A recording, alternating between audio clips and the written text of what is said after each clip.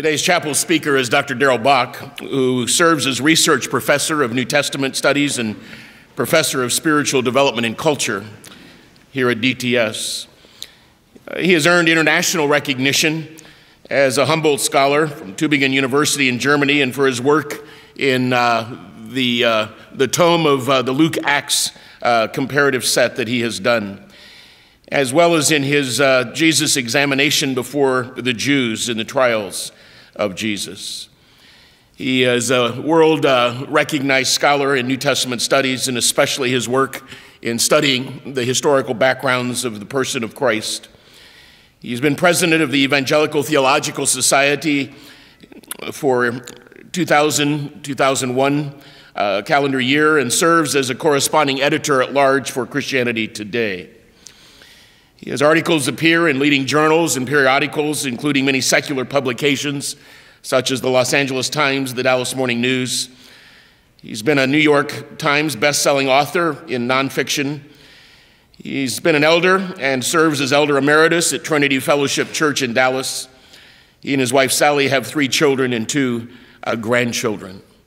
Uh, wherever I am, uh, those who are uh, mixing it up in evangelical scholarship and even beyond have uh, recognized Darrell for his great contribution and especially his representation through Dallas Seminary. Uh, I want you to know we recently did a podcast. Uh, Dr. Bock is a part of that. Uh, Dr. Bingham and Dr. Uh, Rick Taylor from the Old Testament Studies Department. And we brought three of them into the studio here in uh, Chafer Chapel and, and, and, and, did a podcast on how does an evangelical scholar who shares uh, our confessions of the faith and our doctrinal perspective, how do they mix it up in a broader uh, world of academia and represent Christ well? Uh, not only within uh, uh organizations like the Evangelical Theological Society, but uh, SBL and beyond. And uh, how do you duke it out for the truth in, in, a world that doesn't accept our confessions. And it was a great uh, uh, podcast experience, and that will be available on our website. And I would encourage all of you as students to listen to that as well. Uh, but uh, one of the reasons that I appreciate Darrell is his heart. His heart for the Lord, his heart for the church, his friendship, his uh, collegiality. And uh, I appreciate that he's a, a, scholar who also has a great sense of humor. he roots for the Rockets, we forgive that. Uh, but uh, would you welcome Dr. Darrell Bock to our chapel this morning? Thank you.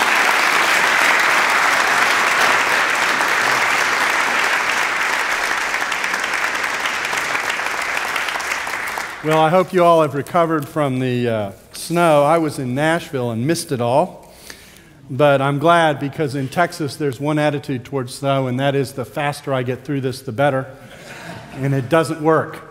So uh, it's a pleasure to be back and see that everyone survived. My topic this morning is the gospel. It's dear to me. My ministry began with Young Life as a leader at Austin High School in Austin, Texas, while I was at the University of Texas. Go, Austin, Austin High. Go, Austin, go. And uh, the gospel's been near and dear to me ever since. And I really think that the church today is struggling to communicate the gospel clearly. So that's what I want to talk to you about. I want to do it by starting off with some pictures. And so I want to start off with this fella, Jimmy Cagney, that great theologian of the 50s and 60s. Some of you may not know who Jimmy Cagney is. I am confident that the faculty knows him very well. Uh, the next illustration is for them and not for you. Uh, and Jimmy Cagney was a great actor of the 50s and 60s, really an actor of my parents' era, really, versus mine. I'm trying to get myself as young as I can be. And in the midst of his acting, he often played tough guy parts. In fact, one of the most famous lines attached to Jimmy Cagney goes something like this You dirty rat, you're the one who killed my brother. Now, Jimmy Cagney has said that he actually didn't say that line, so we're searching for the real historical Jimmy Cagney.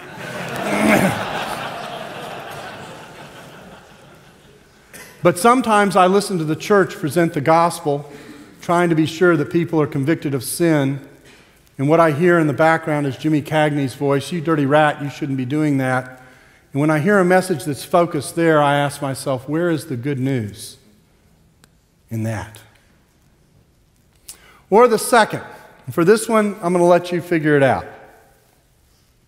Who am I and what am I doing?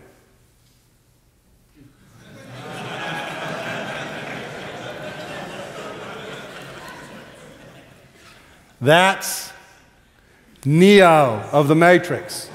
Faculty, ask your students after class, okay? That's Neo of the Matrix, dodging bullets. And sometimes when I hear the gospel presented, what I hear is that the gospel is about avoiding going somewhere very warm and very uncomfortable. And I think to myself, the gospel isn't about a negative. The gospel isn't about avoiding something. The gospel is about receiving something. Or the third option, no picture for this one, comes from evangelism explosion. You know, you got to open up a conversation and get to the gospel somehow. So why not open it up this way? If you died today, now think about opening a conversation that way. Isn't that a great way in? If you died today, and then you know how the rest of it goes.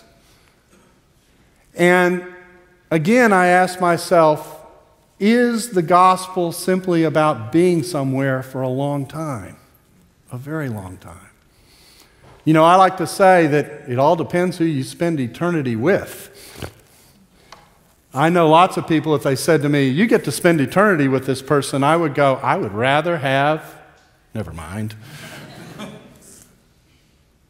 It's who you know and who you're with that's at the core. And that's what I want to look at. So turn with me, if you would, to Luke chapter 3. We're going to do a little bit of a sword drill. We're going to run through several passages. I'm going to try and string some things together for you. And I'm going to argue that the gospel is about more than death for sin. That when we talk about the gospel and we limit it to death for sin, what we've done is we've given us about half the gospel. We've made it clear how the way is clear to experience what the gospel offers, but we have come short in making it clear why the gospel is good news. The gospel is good news for more than simply my sins being forgiven, as important as forgiveness of sin is to get to the gospel. Look at Luke chapter 3. This is John the Baptist speaking.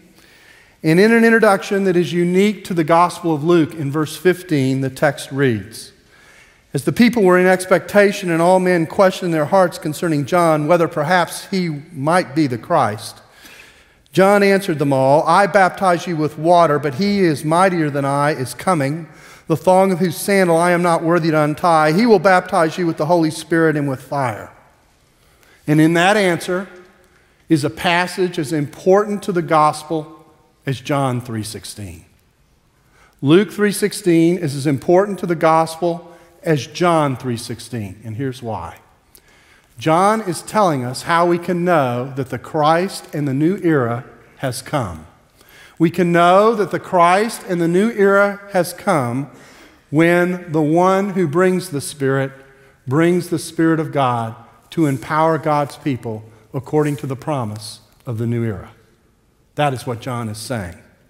Now, I know that some people may doubt that's what John is saying, so that's why I want to marshal the rest of the passages I want to look at. Turn with me next to Luke 24.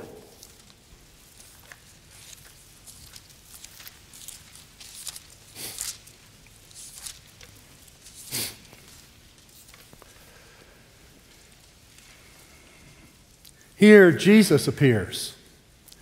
And as he appears and speaks with his disciples in a resurrection appearance, he makes the point that what he has done is what the scripture taught. Verse 44, he said to them, These are my words which I spoke to you while I was still with you, that everything written about me in the law of Moses and the prophets and the Psalms must be fulfilled. In other words, he's telling an old story. Then they, uh, he opened their minds to understand the scriptures and said to them, Thus it is written that, the Greek, that the, Christ should suffer on the third day, rise from the dead, and that repentance and forgiveness of sins should be preached in his name to all the nations, beginning from Jerusalem. That Hebrew scripture made three points. These are nicely encapsulated in three Greek infinitives having to do with the idea of Jesus uh, suffering, his rising from the dead, and then finally that repentance and forgiveness of sins should be preached in his name to all the nations, beginning from Jerusalem. But keep reading. You are witnesses of these things. Verse 49.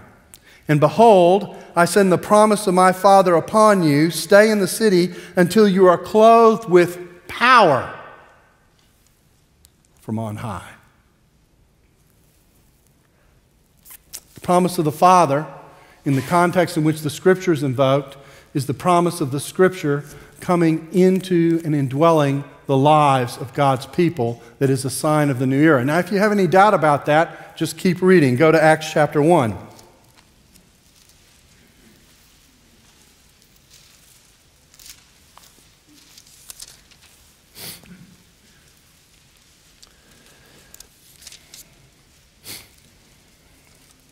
Once again, Jesus is appearing to the disciples in chapter 1, and in verse 3 it says, To them he presented himself alive after his passion by many proofs, appearing to them during 40 days and speaking of the kingdom of God. And while staying with them, he charged them not to depart from Jerusalem, but to wait for the promise of the Father. That's exactly what Jesus talked to them about in Luke 24 49 which he said, You have heard from me, for John baptized with water, but before many days you shall be baptized with the Holy Spirit. Bing,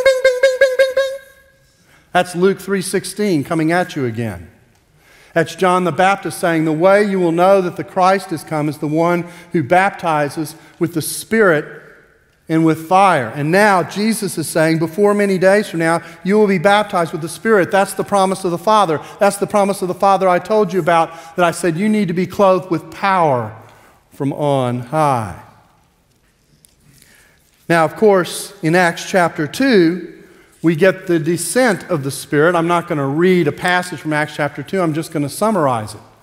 But in Acts chapter 2, Peter makes the point to Israel that Israel can now know that God has made this one whom they crucified both Lord and Christ because he has poured out the Spirit that they now see upon them. The sign of the new era has arrived. The promise of the Father from the Hebrew Scripture has come.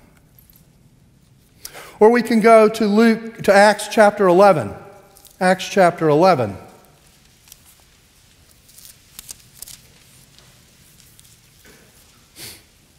Here, Peter is describing the descent of the Spirit on Cornelius and the Gentiles, which caused no little trouble among some Jews who were nervous that Gentiles could be a part of God's people. In Acts 15, uh, Acts 11 and verse 15, it says, As I began to speak, the Holy Spirit fell on them, just as on us at the beginning. And I remembered the word of the Lord, how he said, John baptized with water, but you shall be baptized with the Holy Spirit. Bing, bing, bing, bing, bing, bing, bing. That's Luke 3.16 coming at you yet again. The Spirit of God into the lives of people. That, ladies and gentlemen, is the core of the good news, the new life that God gives that enables us to walk and talk and fellowship with the living God. Goes on and says, If then God gave the same gift to them he gave to us when we believed in the Lord Jesus Christ, who was I that I could withstand God? And when they heard this, they glorified God, saying, Then to the Gentiles God has also granted repentance unto life. Or we could go to Acts 16. I'm not going to take you through that speech at Pisidian Antioch, but it's a very precise speech. Paul goes to Pisidian Antioch and he begins to relate the history of Israel. He starts with God's choice of Israel.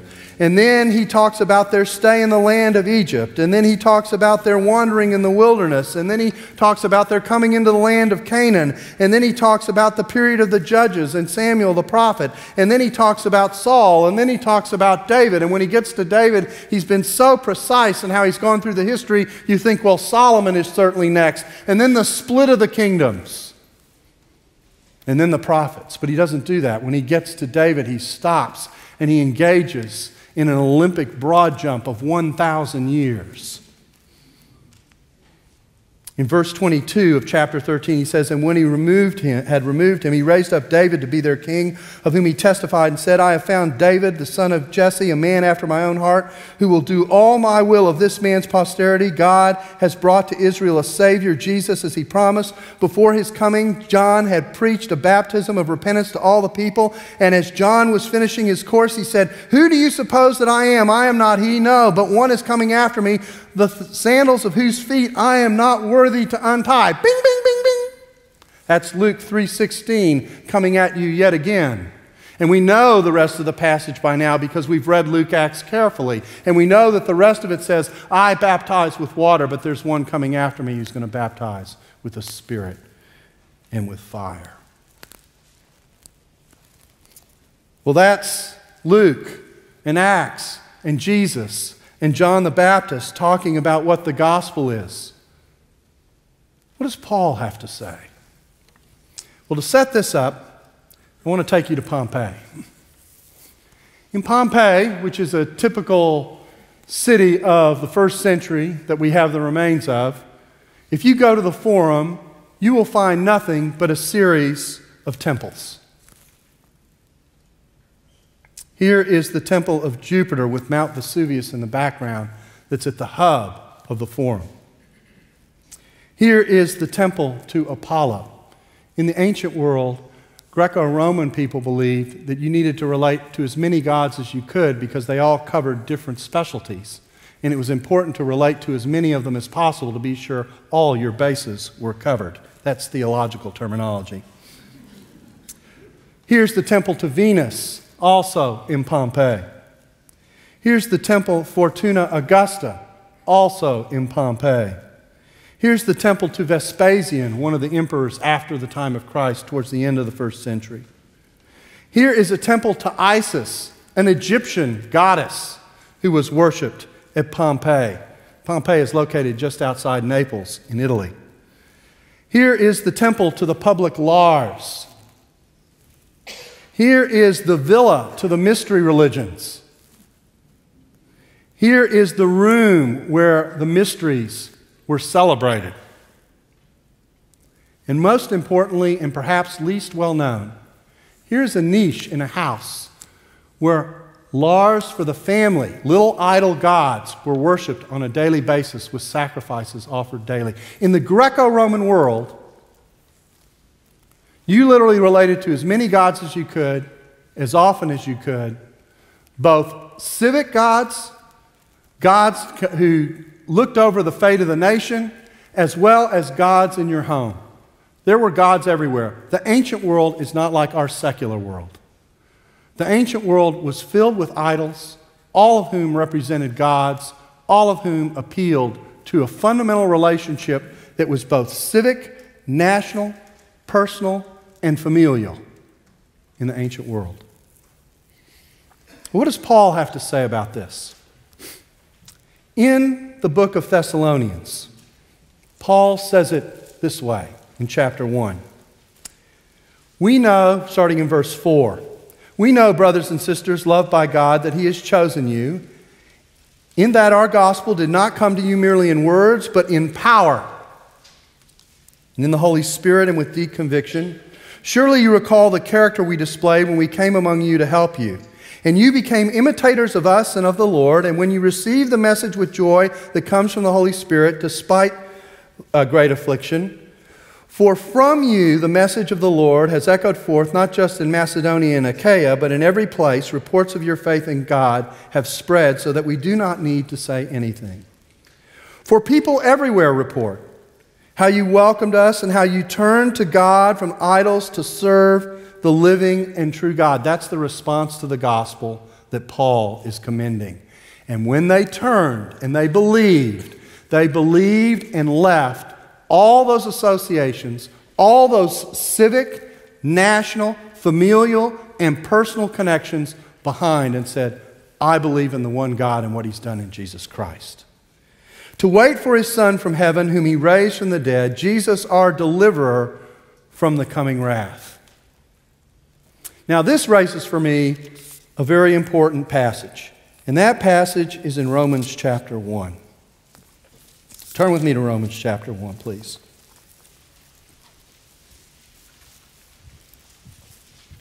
The text reads For I am not ashamed of the gospel, it is the power of God for salvation to everyone who has faith, to the Jew first, and also to the Greek.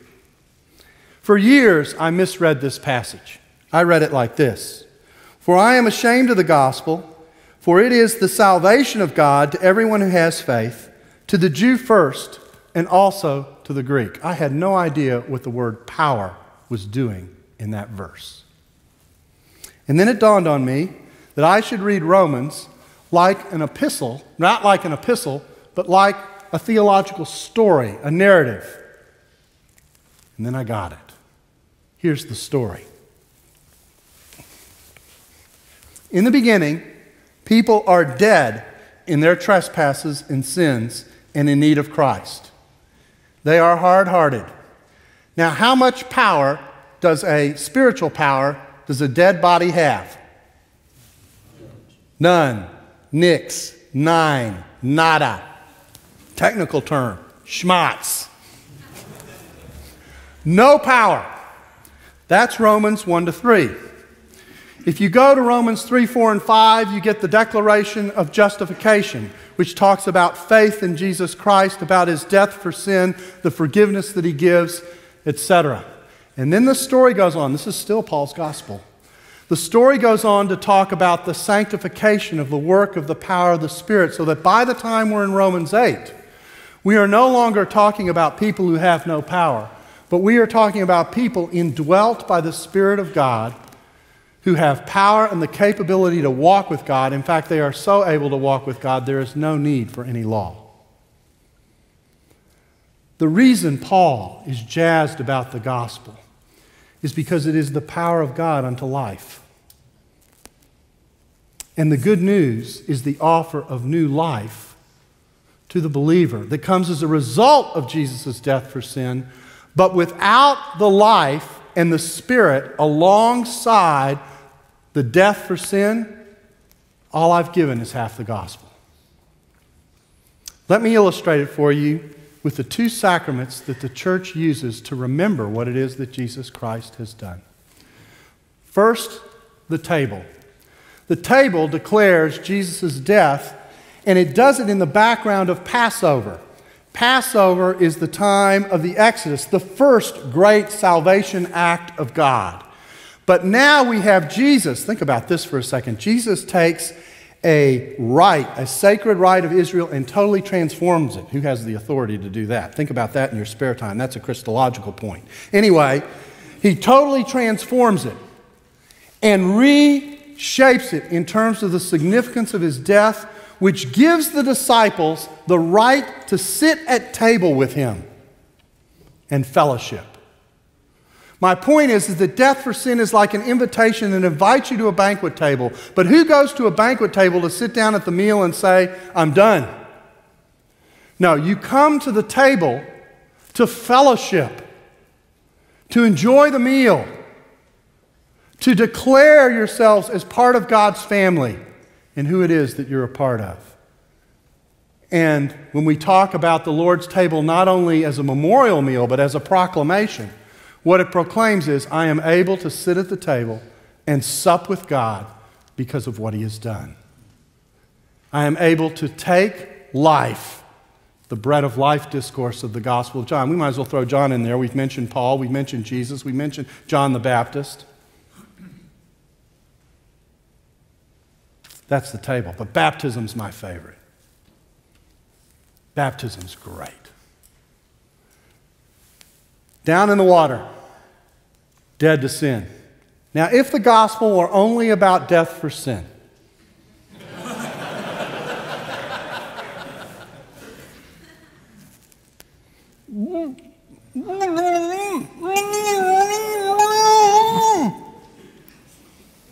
Romans 6, alive to God.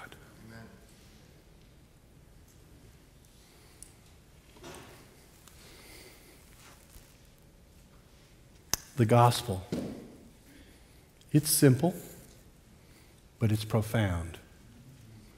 And the gift that we do not talk enough about is the gift not just of life, but empowerment, enablement.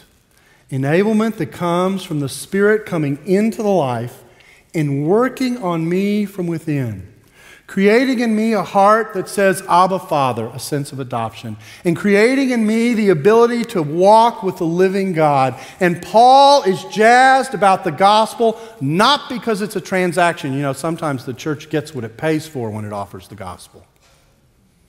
And when we offer it as a transaction and a check of a box, people check the box and say, I've done the important thing, and they risk walking away.